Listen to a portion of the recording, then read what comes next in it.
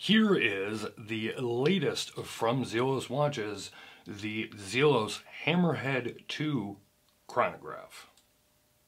If you haven't seen my video on the latest Zelos Hammerhead 2, I'll either link that up in the right hand corner or down in the description below.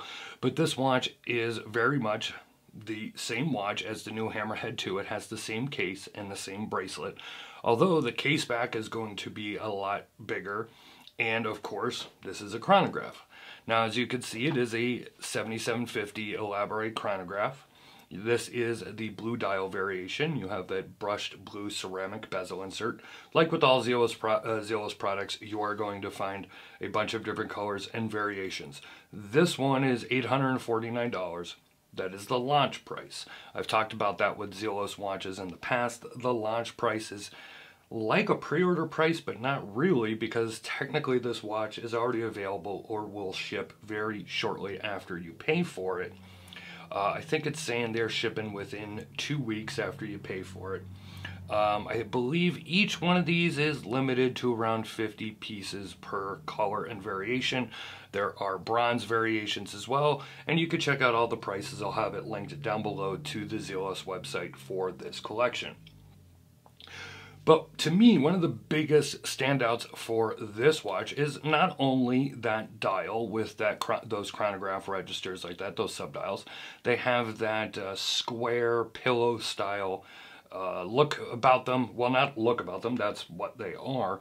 And uh, gives it a retro vibe. I really like that. I also like that they went with a no date. Now keep this in mind, it is a no date. There is no date on the dial but that date wheel is still in there. So when you pull out that crown, you can hear it here and you can see that it does have that phantom date wheel uh, going on there. The other thing though that immediately as soon as I took it out of the Zelos box and watch roll is how thick it is. Now, uh, the past few watches that I've reviewed, including the regular three-hand Zelos Hammerhead 2 and the new Abyss, are very chunky watches. Now, and that's okay. There's a lot of guys out there that are going to like the chunky watch like this. It is still 44 millimeters in width, and everything else is the same, but you're going to get it's even chunkier because of that movement and still being a thousand meters water resistant, and you have that big case back as well. Now, chunky big watches are not a bad thing. As I said, lots of guys out there are going to absolutely love this watch. Some of you have probably uh, probably already pre-ordered one. All well and good. Now for me, oh man, I gotta say, I really, really, really love this watch. But this watch on this bracelet weighs 286 grams. Now you do get the rubber strap, just like you get with the regular Hammerhead chrono, or regular Hammerhead um, dive watch, the three-hander, and which is great. If you already own a regular Hammerhead 2, you'll now have an extra bracelet and an extra rubber strap. So if your dog chews up one of your rubber straps, eh, now you got an extra one and you could swap them uh, between the watches. But this watch on this bracelet weighs 286 grams. It is a hefty, hefty big watch. I personally do not need a thousand meters of water resistance. And that and that 7750 movement is what is making this watch so much thicker.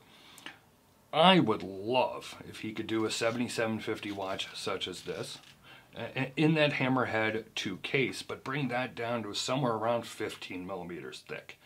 Um, this actually, now the website lists this as 18 millimeters thick without the sapphire, that domed sapphire crystal.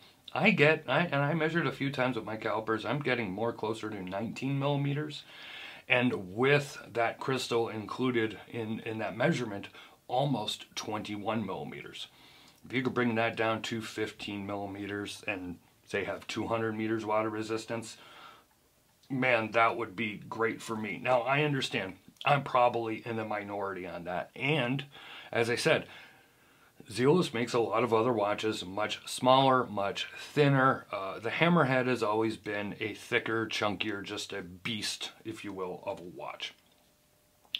Um, and I knew that adding that chronograph was going to make it even thicker. I just didn't realize, I guess, until, uh, which happens sometimes, until you actually see something in person, whether it's a watch or a car or any other product that you're looking at, you, you could watch it on video, you could see it in pictures, but then you get it in person. You're like, wow, that is thick. And then, of course, being almost 300 grams in weight, um, it is very, very heavy on the stainless steel bracelet.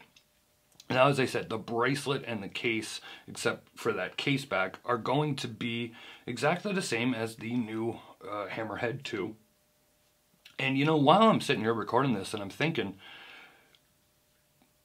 titanium would be a really good way to go here to reduce. Uh, it would still be just as thick in this uh, current configuration, but uh, would be a lot more wearable, at least to me, in titanium. But okay, my wishes and my wants aside, what about this one? Well, you're still getting the exact same Zelos quality. I've talked about it before. I don't consider Zelos to be in the most upper micro brand, you know, um, watch uh, quality. If you that sounded wrong, that came out wrong. I'll leave it in there. I'm not going to edit it out. But uh, I don't consider it to be the most top tier micro brand out there. You know, as far as quality and finish and case construction, I wouldn't really compare them to Monta. But those are two different companies as well. But I've always considered Zelos to be a great brand. They get better every single year.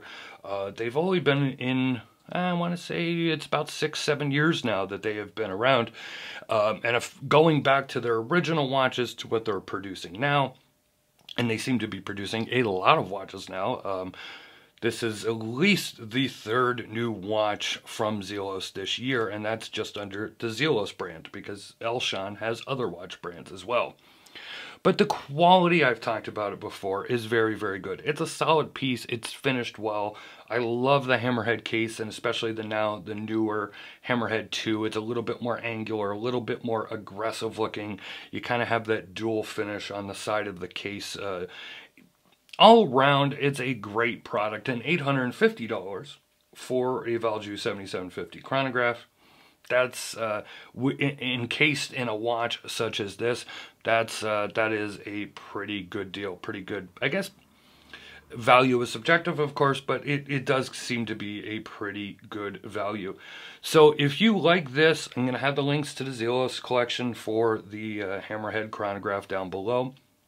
And uh, let me know in the comments if you already have a hammerhead, would you add the chronograph to it, uh, to your collection, or would it be redundant, or is this the uh, hammerhead that you've been waiting for because you love chronograph watches? Let me know what you think. Let me know also if you agree with me, if you'd love to see a thinner variation of this watch or if you love it just as is. As always, uh, please subscribe, hit that notification bell twice, that way you never miss any of our content or uploads. You could follow us Facebook, Twitter, and Instagram. Uh, check out what we have coming in and what's upcoming for reviews. Leave a comment, leave a like, always appreciated. I hope you enjoyed this video. You can check out some of our more recent reviews here at the end of the video. Thanks for watching. Talk to you on the next one.